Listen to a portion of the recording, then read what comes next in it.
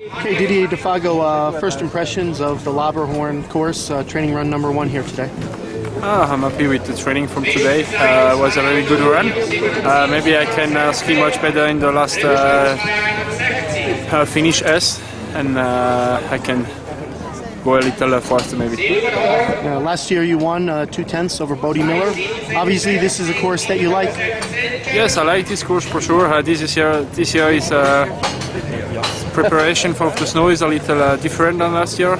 Uh, some uh, we have some more walls, a little more wa- watering, uh, water green, and uh, it's a little more icy maybe. But uh, I hope to do a, a good race on Saturday, and uh, I'm happy with this training from today, and I have to bring that in the race.